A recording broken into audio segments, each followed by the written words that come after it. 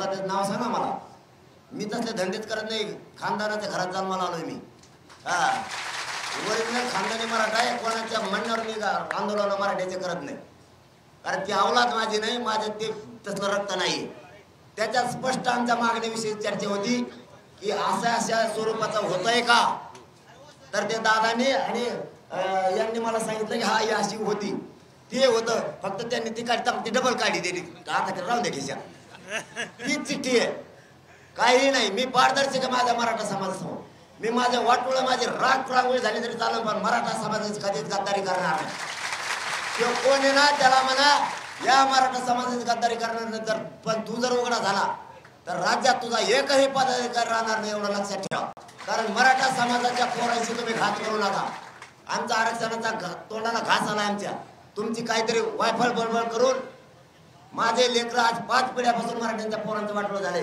तुमच्या राजकारणापायी माझ्या पोरांचा खात पाडू नका. एवढं लक्षात ठेवा कारण आम्ही त्या चिठ्ठ्या फिट्ट्यात असले धंदे करत नाही काय जे असं ते पारदर्शक पारानं समाजाच्या समोर काम करतोय. आणि आताही सांगतोय सरकारला दिलेल्या वेळाप्रमाणे आम्ही त्याच्यावरती ठाम आहेत.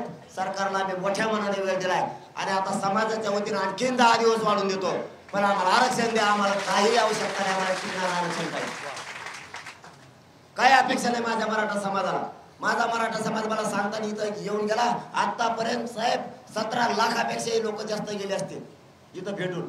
सगळ्यांचं म्हणणं आहे पाटील तुम्हाला वेळ द्या काही करा. पण आपल्याला आरक्षण पाहिजे ते द्या. मी या समाजाला शब्द दिलाय. मी जीव गेला तरी चालेल पण तुमच्या पोराच्या पंधरात आरक्षणच टाकून तेव्हा थांबत नाही थांबणार. आणि शिक्षण खट्ट्याचे धंदे आम्ही करणार का? उभे आयुष्याचे रात रांगोळी केले मला आणखी माझा रानाचा बांध कुठे सुद्धा माहीत नाही. इतकं समाजासाठी रात्रंदिवस करतो की माझा योगा योगाने बाप इथं आला म्हणून माझा मोठेपण सांगत नाही. माझा बाप कष्ट करतो ना आम्हाला खाऊ घालतो नाही. पट्ट्या त्यांचं कष्ट केलेल्याचा खाऊन मी समाजाचं काम करतो. एक जण जर मला म्हणला तुला रुपये इकडे तिकडे फिरायला दिलेला तर त्या दिवशी आत्महत्या करेल मी. यातले चिठ्ठ्या फिट्ट्याचे कारण आम्हाला सांगत नाही कारण आम्हाला सहन होणार नाही. ते बेगडी लोक असतात त्यांना ते सहन होईल. मी सहन करू शकत नाही कारण माझा उभा खानदान कष्टात गेलाय. म्हणून मी माझी एक समाजाला विनंती आहे तुमच्याशी तुमच्या तुमच्या प्रश्नावर मी एक इंचही माग हटलो नाही हटणार नाही. तुमच्या हिताचाच निर्णय घेणार. पण शिंदे साहेब येईल म्हणले होते आणि तुम्हाला मार्गदर्शन करीन म्हणले होते त्या शब्दात तेही खरे उतरले आणि मीही त्याला आणूनच दाखवलं.